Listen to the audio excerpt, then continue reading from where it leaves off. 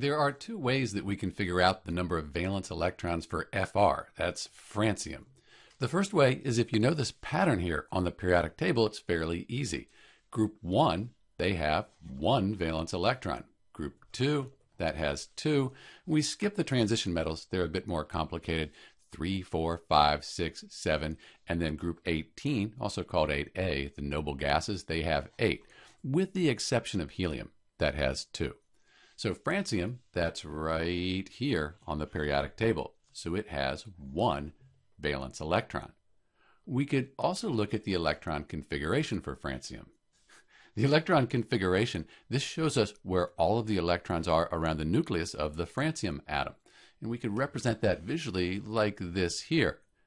If you look at the electron configuration, the highest energy level, that's the seventh energy level, that only has one valence electron. And we represent that here in this outer shell, the one valence electron.